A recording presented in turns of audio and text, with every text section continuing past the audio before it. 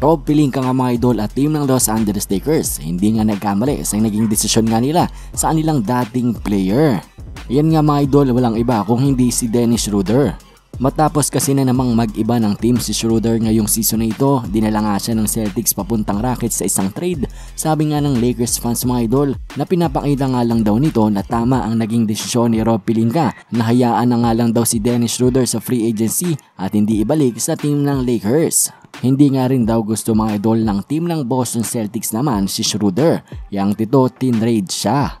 At dahil din kasi mga idol, mas less nga yung statistics na average na ni Schroeder kumpara nga last season para sa Lakers.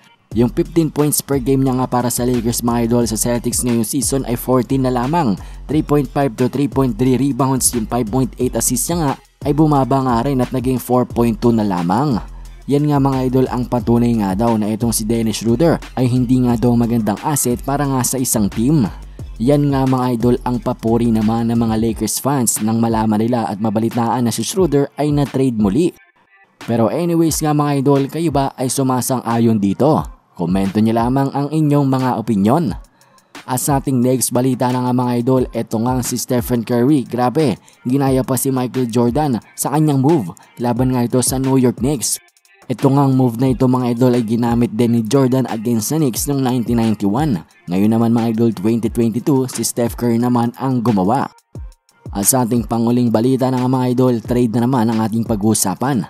4-team trade nga ito mga idol, Sacramento Kings, Bucks, Clippers at Pistons. Itong Sacramento matatanggap si Dante DiVincenzo, Trey Lyles and Josh Jackson.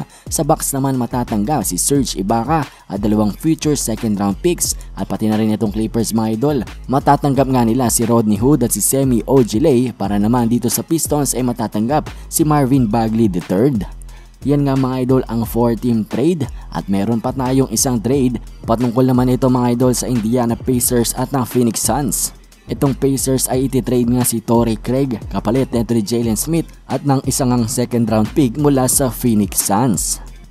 At ayan nga mga idol ang ating mga balitang NBA ngayon. Maraming ang salamat sa inyong panonood. Bye!